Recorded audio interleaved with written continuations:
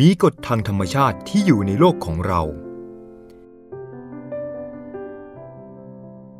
ตั้งแต่ดวงอาทิตย์ตกจนดวงจันทร์ได้โผล่ขึ้นมา และดวงดาวกำลังส่องแสงอยู่บนฟากฟ้า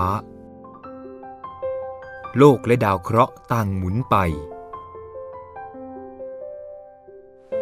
สายน้ำได้พุ่งขึ้นและไหลไปตามลำธารไปยังแม่น้ำและไปสิ้นสุดลงที่ทะเล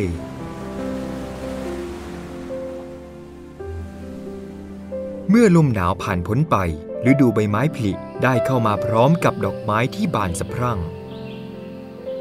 เราได้เห็นกฎทางกายภาพเหล่านี้ในธรรมชาติ นอกเหนือจากสิ่งเหล่านี้แล้ว ก็ยังมีกฎฝ่ายวิญญาณ ระหว่างพระเจ้า ผู้ทรงสร้างฟ้าสวรรค์และแผ่นดินโลกกับชีวิตของมนุษย์ด้วยเช่นกัน พระเจ้าทรงรักท่าน และทรงมีแผนการอันประเสริฐยิ่งสำหรับชีวิตของท่าน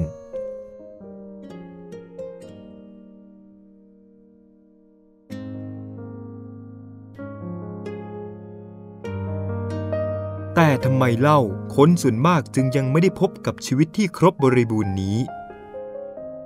มนุษย์ทุกคนเป็นคนบาปและถูกตัดขาดจากพระเจ้า ดังนั้นจึงไม่สามารถรู้และพบกับความรักและแผนการของพระเจ้าสำหรับชีวิตของเขาได้ พระเจ้าทรงสร้างมนุษย์ให้มีความสามัคคีธรรมกับพระองค์ แต่เพราะความดื้อด้านตามใจปรารถนาของตนเองมนุษย์จึงเลือกดำเนินชีวิตอย่างอิสระด้วยเหตุนี้ ความสามัคคีธรรมระหว่างเขากับพระเจ้า จึงขาดลง การทำตามใจปรารถนาของมนุษย์นี้ แสดงออกโดยการปฏิเสธที่จะเชื่อฟังพระเจ้า และเฉยเมยต่อพระองค์ การกระทำเช่นนี้แหละ ที่พระคิสต์ธรรมคัมภีเรียกว่า บาป พระเจ้าทรงเป็นผู้บริสุทธิ์ และมนุษย์เป็นคนบาป จึงเสมือนมีหุบเหวอันลึกและกว้างใหญ่ขวางกั้นระหว่างพระเจ้ากับมนุษย์ มนุษย์แสวงหาวิถีทางที่จะข้ามหุบเหวนี้อยู่เรื่อยมา เพื่อไปสู่พระเจ้า และรับชีวิตที่ครบบริบูรณ์ โดยการอาศัยสติปัญญาและความสามารถของตนเอง เช่นบำเพ็ญตนเป็นคนดีมีศีลธรรม และยึดหลักปรัชญาต่างๆ หลักความจริงประการที่ 3 เป็นทางเดียวเท่านั้น ที่จะแก้ไขปัญหาอันยุ่งยากนี้ได้ โดยทางพระเยซูคริสต์เท่านั้น ที่พระเจ้าทรงจัดเตรียมไว้ เพื่อชำระล้างความผิดบาปของมนุษย์ โดยพระองค์ ท่านจึงจะสามารถรู้และพบกับความรักของพระเจ้า และแผนการของพระองค์สำหรับชีวิตของท่านได้ พระเจ้าทรงเชื่อมหุบเหวที่ขวางกั้นระหว่างพระองค์กับมนุษย์ โดยการส่งพระเยซูคริสต์พระบุตรของพระองค์ ให้ลงมาสิ้นพระชนบนไม้กางเขนแทนเรา แล้ววันที่สามพระองค์ทรงเป็นขึ้นมาใหม่ตามที่เขียนไว้ในพระคัมภีร์นั้น พระเจ้าทรงสำแดงความรักของพระองค์ โดยการยอมตายแทนเรา การรู้แต่เพียงหลักความจริงสามประการนี้เท่านั้นยังไม่เป็นการเพียงพอ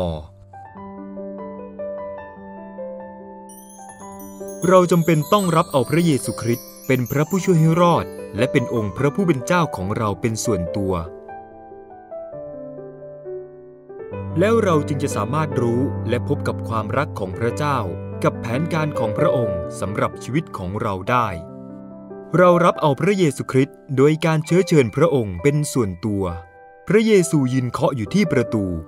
ถ้าผู้ใดได้ยินเสียงของพระองค์และเปิดใจ พระองค์จะเข้ามาในชีวิตของเรา วงกลมทั้งสองนี้แสดงให้เห็นถึงชีวิตสองแบบ ชีวิตตามใจตนเองคือ ตนเองอยู่บนบัลลังก์ชีวิต พระเยซูคริสต์อยู่ภายนอกชีวิต ความสนใจต่างๆ ที่ทำตามใจตนเอง ก่อให้เกิดการขัดแย้งและความไม่สมหวังอยู่เสมอ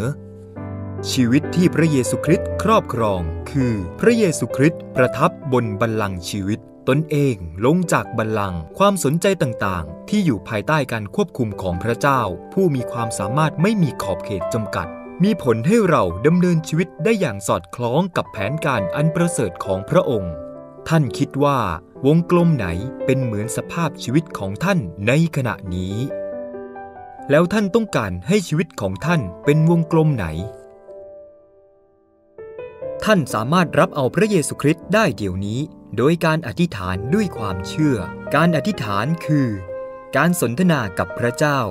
โปรดอธิษฐานเดี๋ยวนี้ แล้วพระเยซูคริสต์ก็จะเสด็จเข้ามาประทับในชีวิตของท่าน พระเจ้าทรงทราบจิตใจของท่าน พระองค์มิได้สนพระทัยกับถ้อยคำที่ท่านอธิษฐานนัก หากแต่ทรงสนพระทัยในความจริงใจของท่านมากกว่า ต่อไปนี้ คือตัวอย่างคำอธิษฐานด้วยความเชื่อ ซึ่งใครจะแนะนำแก่ท่าน ข้าแต่พระเยซูคริสต์เจ้า ข้าพระเจ้าปรารถนาพระองค์ด้วยสุดใจ ข้าพระเจ้าขอเปิดประตูชีวิต ต้อนรับเอาพระองค์ เป็นพระผู้ช่วยให้รอด และเป็นองค์พระผู้เป็นเจ้าของข้าพเจ้า ขอขอบพระคุณพระองค์ ที่ทรงประทานอภัยโทษความผิดบาปให้แก่ข้าพเจ้า โปรดครอบครองบัลลังก์ชีวิตของข้าพเจ้า และนำให้ข้าพเจ้าดำเนินชีวิตตามพระประสงค์ของพระองค์เถิด อาเมน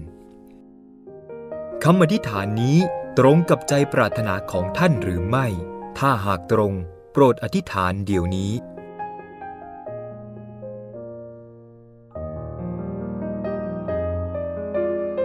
เมื่อท่านอธิษฐานด้วยความเชื่อแล้ว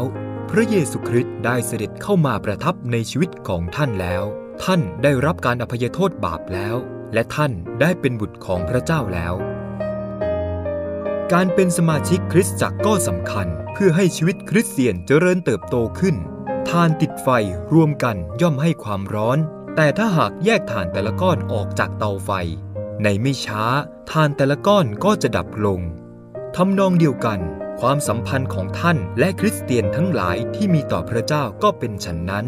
ควรไปหาศิษยาพิบาลของคริสตจักรที่อยู่ใกล้บ้านของท่าน ซึ่งเป็นคริสตจักรที่ถวายพระเกียรติแด่พระคิดและประกาศพระกิตติคุณของพระองค์ ถ้าท่านเป็นสมาชิกคริสตจักรก็จะได้รู้จักพระเยซูคริสต์มากขึ้น และจะได้มีชีวิตที่ครบบริบูรณ์